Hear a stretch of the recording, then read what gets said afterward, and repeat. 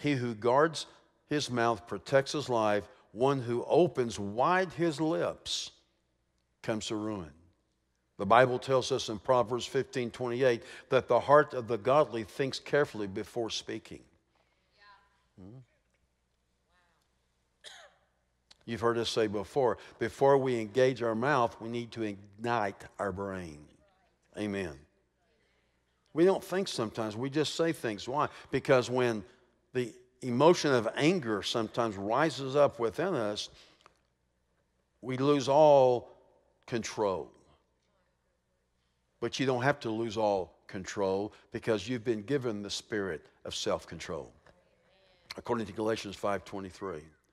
We can control even in anger, even when something that's challenging, something that happens that is, is not right, you don't have to be angry.